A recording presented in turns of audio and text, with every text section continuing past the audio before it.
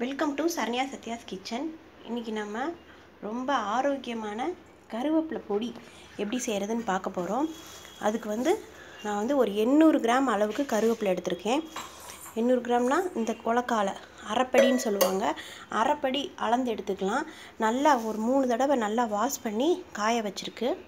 மாதிரி கருவேப்பிலையை வந்து ஒரு ரெண்டுலேருந்து மூணு தடவை நல்லா வாஷ் பண்ணிவிட்டு ஃபேனுக்கு அடியில் நம்ம போட்டுடலாம். கீழே வந்து நல்லா கெட்டியான ஒரு டர்க்கி டவல் எடுத்துக்கோங்க. டர்க்கி டவல் மேலே அப்படி பரப்பிட்டு நம்ம கையை வச்சு இந்த ரெண்டு கையும் வச்சு சும்மா அப்படியே ஒத்தி ஒத்தி எடுக்கணும். இந்த மாதிரி ஒத்தி ஒத்தி எடுத்தாவே அஞ்சு நிமிஷத்தில் நம்மளுக்கு சூப்பராக காஞ்சிரும். இதை வந்து வெயிலில் தூக்கி போடணும் அப்படிலாம் இல்லை. நம்மளுக்கு ஃப்ரெஷ்ஷாக இருக்கணும். பச்சை கலரில் இருக்கணும்னா இந்த மாதிரி நிழலில் காய வச்சா போதும். ஃபேன் கடியில் வச்சா போதும். வாங்கணும்னா கருவேப்பிலை வாங்கும்போதே நல்லா லைட் பச்சை கலரில் இருக்கிற மாதிரி பார்த்து வாங்குங்க. வாங்கும்போதே வாடினதாக வாங்காதீங்க நல்லா ஃப்ரெஷ்ஷாக வாங்கணும். அதே மாதிரி ஃப்ரெஷ்ஷாக வாங்கினா மட்டும் பத்தாது. இந்த பொடி செய்கிறதா இருந்தாலும் சரி கருவேப்பிலை சட்னி செய்கிறதா இருந்தாலும் சரி ஒரு நாள் ரெண்டு நாள் நம்ம வச்சுருக்க கருவேப்பிலை தான் செய்யணும். மிஞ்சி போச்சுன்றதுக்காக நம்ம அந்த பொடியை செய்யக்கூடாது. அப்போ அந்த டேஸ்ட் மாறிடும் அந்த கலர் நம்மளுக்கு கிடைக்காது. இந்த பொடி செய்கிறதுக்குனே ஃப்ரெஷ்ஷாக வாங்கி நல்லா சுத்தப்படுத்தி அந்த மாதிரி செஞ்சால் தான் நம்மளுக்கு ரொம்ப நாளைக்கு தாங்கும் நல்ல டேஸ்ட்டாகவும் இருக்கும். அது மாதிரி எயிட் எயிட் ஹண்ட்ரட் கிராம் வந்து நான் கருவேப்பிலை அளந்து எடுத்து வச்சுருக்குறோம். அந்த எயிட் ஹண்ட்ரட் கிராம் அளவுக்கு உளுந்தம்பருப்பு பாருங்கள் ஹண்ட்ரட் கிராம் அளவு போட்டுக்கிறணும் இந்த அளவுக்கு. அதாவது எட்டு கிளாஸ் எட்டு கிளாஸ் அளவு நம்ம கருவேப்பிலை எடுத்தோம்னா ஒரு கிளாஸ் உளுந்தம்பருப்பு வெள்ளைப்பூடு வந்து எத்தனை போடணும்னா ஒரு பத்துலேருந்து பன்னெண்டு வெள்ளைப்பூடு ரசப்பூடு தான் போடணும். அதான் நல்லாயிருக்கும் பொடிகளுக்கெல்லாம். வத்தல் வந்து ஒரு பத்து வத்தல். நல்ல நல்ல வத்தலாக இருக்கிறத பார்த்து ஒரு பத்து வத்தல் சேர்த்துக்கோங்க. காரம் அவங்கவுங்க தகுந்தாப்புல பத்து வத்தல் கரெக்டாக இருக்கும். பெருங்காயத்தூள் வந்து ஒரு ஒரு டீஸ்பூன். அதே மாதிரி சீரகம் ஒரு டீஸ்பூன் மிளகு ஒரு டீஸ்பூன் உப்பு ஒரு டீஸ்பூன். எல்லாமே ஒரே அளவு எடுத்துக்கோங்க. பெருங்காயம் வேணால் ஒரு அரை கொஞ்சோண்டு குறைச்சிக்கலாம். மித்த எல்லாமே ஒரு ஒரு டீஸ்பூன் எடுத்துக்கோங்க. இப்போ வந்து இந்த கருவேப்பிலை பொடி எப்படி வைக்கிறதுன்னு பார்க்கலாம். இது ஒரு ரெண்டு ஸ்பூன் எண்ணெய் ஊற்றிக்கிறோம் கருவேப்பிலையை வந்து நம்ம வறுத்து எடுத்துக்கலாம். இந்த எண்ணெயில் வச்சு நல்லா நம்ம வறுத்து எடுத்துக்கிறணும் இப்போ கருவேப்பிலை வந்து இந்த மாதிரி எண்ணெயில் நல்லா வறுத்துட்டோம். அந்த சத்தம் கொஞ்சம் லைட்டாக அடங்கின பிறகு நம்ம எடுத்தா எடுத்துடலாம். இந்த மாதிரி நல்லா ஆற வச்சிருங்க.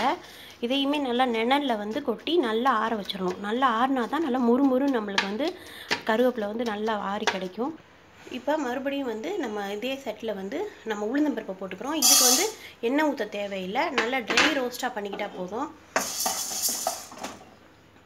அதிலே வந்து வெள்ளைப்பூடு சேர்த்துக்கிறோம். இது லைட்டாக வறுத்ததுக்கப்புறம் நம்ம மிளகு சீரகம் இதெல்லாம் இதுலேயே சேர்த்துக்கலாம். இப்போ உளுந்து இந்த அளவுக்கு நல்லா வறுத்ததுக்கப்புறம் மிளகு சீரகம் சேர்த்துக்கிறோம். அப்படியே வந்து இதுலேயே வந்து வத்தலையும் சேர்த்துக்கலாம். இதிலே வந்து உப்பையும் சேர்த்துக்கிறோம். பெருங்காயம் மட்டும் அடுப்பை ஆஃப் பண்ணதுக்கப்புறம் சூட்டில் போட்டால் போதும். இப்போ இதில் நல்லா வத்தல் எல்லாம் நல்லா சூடு வர அளவுக்கு நல்லா வறுத்துக்கிறோம். இப்போ உளுந்து நல்லா கிழக்க வறுத்துருச்சு வத்தல் எல்லாமே வறுத்துருச்சு. இப்போ அடுப்பை ஆஃப் பண்ணிவிட்டு நம்ம பெருங்காயம் சேர்த்துக்கலாம். இப்போ சூட்லேயே பெருங்காயம் சேர்த்து ஒரு நல்ல ஒரு தடவை கிண்டி விட்ருங்க சூட்டில் இருந்தால் போதும். இது இப்போ இந்த உளுந்தம்பருப்பு இந்த மிக்சரும் நல்லா ஆறணும். இந்த கருவேப்பிலையும் நல்லா ஆறுனதுக்கப்புறம் ரெண்டையும் வந்து நம்ம அரைச்சிட்டோம்னா கருவேப்பிலை பொடி ரெடி ஆயிரும். இப்போ பார்த்தீங்கன்னா தெரியும் உங்க நம்மளுக்கு வந்து நல்ல க்ரீன் கலரில் சூப்பராக கருவேப்பிலை பொடி நம்மளுக்கு கிடச்சிருச்சு. இந்த கலர் கிடைச்சதுக்கு காரணம் வந்து அந்த ஒரு ஸ்பூன் எண்ணெய் ஊற்றி இந்த கருவேப்பிலையை நம்ம வதக்கினதுக்கு தான் இவ்வளோ அழகான கலர் நம்மளுக்கு கிடச்சிருக்குது. இப்போ வந்து நீங்கள் வந்து இதை எண்ணெய் ஊற்றி வதக்கினது மட்டும் இல்லை நல்லா நிழலில் வந்து ஒரு ஒரு மணி நேரம் நல்லா காய வச்சிடணும். நல்லா கொஞ்சம் கிறிஸ்பியாக வந்ததுக்கப்புறம் தான் அரைக்கணும். அது மட்டும் இல்லை மொதல் வந்து இந்த உளுந்தம்பருப்பு இதெல்லாம் நம்ம வறுத்து வச்சுருந்தோம் பாருங்கள் அதை எல்லாத்தையும் வறுத்துட்டு அதுக்கப்புறம் வந்து கொஞ்சம் கொஞ்சமாக கருவேப்பிலையை நம்ம எண்ணெயில் வதக்கின கருவேப்பிலையை கொஞ்சம் கொஞ்சமாக போட்டு வ அரைக்கணும். இது கொஞ்சம் டயம் எடுக்கும். சும்மா போட்டோமா அரைச்சோமான்னு கிடை இருக்காது. அந்த எண்ணெயில் ஊற்றின வதக்குனதுனால கொஞ்சம் கொஞ்சமாக நைஸாக அந்த இந்த இந்த அளவுக்கு க வர அளவுக்கு நம்ம அரைக்கணும். இப்படி உங்களுக்கு இந்த மாதிரி செய்ய எண்ணெய் ஊற்றாமல் கருவேப்பிலை அரைச்சோம்னா நாங்கள் ஏற்கனவே அது மாதிரியே அரைச்சிருக்கோம். இந்த கலரில் கிடைச்சிருக்கு பாருங்கள் இதுவும் நல்லா ஒரு ரெண்டும் ஒரே டேஸ்ட்டாக தான் இருக்கும். ஆனால் ரெண்டுக்கும் டிஃப்ரென்ஸ் உங்களுக்கு தெரியும்.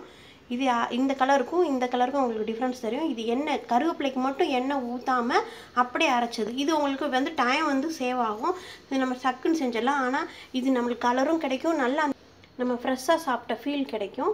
உங்களுக்கு இது வேணாலும் அப்படியும் அரைச்சிக்கலாம் இப்படியும் அரைச்சிக்கலாம். இப்போ நம்ம கருவேப்பிலை பொடி சூப்பராக ரெடி ஆயிடுச்சு. இதை வந்து என்ன பண்ணணும்னா நல்லா சூடான சாதத்தில் நெய் ஊற்றி இதை இந்த கருவேப்பிலை பொடியை போட்டு பிணைஞ்சு சாப்பிட்லாம். இதை வந்து இப்- இது வந்து குழந்தைங்களுக்கு ரொம்ப நல்லது. முடி வளர்கிறதுக்கு சரி அயன் சத்து இருக்குது. அதனால் இந்த பொடியை நீங்கள் செஞ்சு வச்சுக்கிட்டிங்கன்னா மந்த்லி ஒரு தடவை கூட நீங்கள் வந்து கருவேப்பிலை வாங்கும்போது மொத்தமாக இதுக்குன்னே பொடிக்குனே வாங்கி நீங்கள் செய்யணும். செஞ்சு வச்சுக்கிட்டிங்கன்னா ரொம்ப ரொம்ப நல்லது. இந்த வீடியோ உங்களுக்கு பிடிச்சிருந்தா லைக் பண்ணி பண்ணுங்கள் ஷேர் பண்ணுங்கள் மறக்காமல் சேனலை சப்ஸ்கிரைப் பண்ணி வச்சுக்கோங்க.